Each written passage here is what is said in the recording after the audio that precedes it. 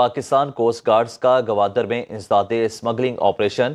Searching team ने एक kilogram cheers बरामद कर ली। समुद्र के किनारे मोटर बोट के ज़रिए चर्स स्मगल करने की कोशिश की जा रही थी। कोस्ट गार्ड्स को देखकर स्मगलर रात की तारीकी का फ़ायदा उठाते हुए मोटर बोट और मनशियात छोड़कर फरार हो गए। पाकिस्तान का कोस्ट गार्ड्स मनशियात कब्जे में लेकर कानूनी कार्रवाई शुरू कर दी गई।